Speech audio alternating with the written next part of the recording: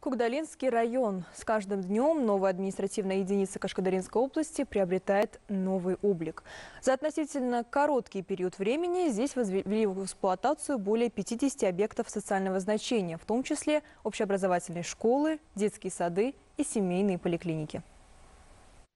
В жизни кашкадаринцев создание нового административного центра Кугдалинского района стало значимым событием. Его центр – городок Еттон. За короткое время здесь проведены масштабные созидательные работы. Сданы в эксплуатацию 20 дошкольных образовательных учреждений, 20 махалинских гузаров, 5 школ, 2 семейные поликлиники, протянуты широкие ровные дороги.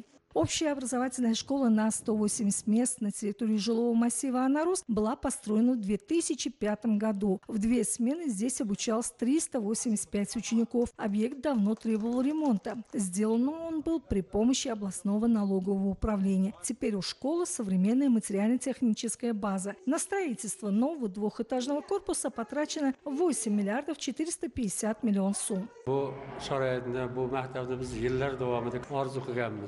Получить такие прекрасные условия мы мечтали давно. Это стало возможным благодаря вниманию главы государства к системе образования. В свою очередь, мы приложим все усилия, чтобы воспитать гармонично развитую молодежь.